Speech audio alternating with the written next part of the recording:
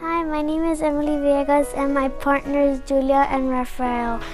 We will will come later in the presentation. We are from Mr. Galani's hot class.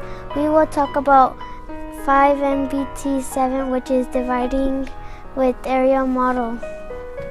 Let's start. So our problem is 4 and 83 tenths divided by 2 and 1 tenth. So let's start putting them, two of them, with 1, because that's the divisor. And we do it again since it's 4 and 83.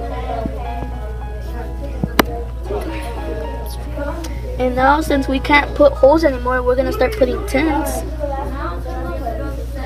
So let's put 2 over here. One because of the four, four and 83 tenths and do it again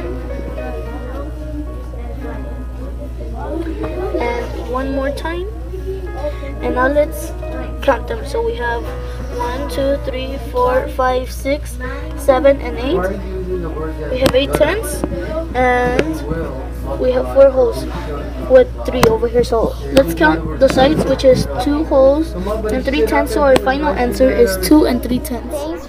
Watching our presentation.